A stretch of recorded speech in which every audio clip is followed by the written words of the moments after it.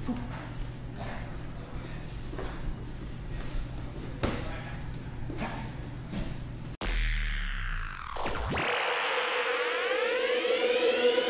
guys, Gene from Flow Athletics here. Let's do another quick drill.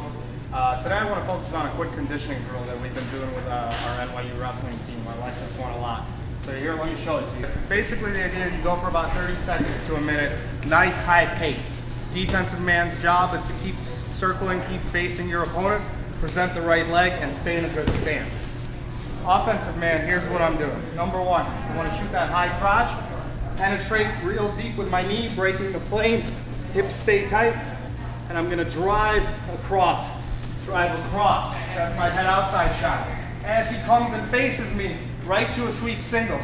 So I take my shot, boom, sweep, drive in the other direction, boom, boom, boom.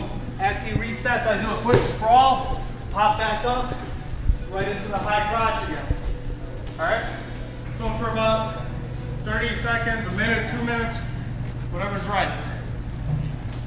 This Flow Athletics training tutorial was made possible with the support of Combat Skin, performance athletic gear designed and made for combat. Check out the fancy spats I'm wearing designed by renowned artist and BJJ practitioner Meerkatsu. I definitely felt 200% faster wearing them during today's training session.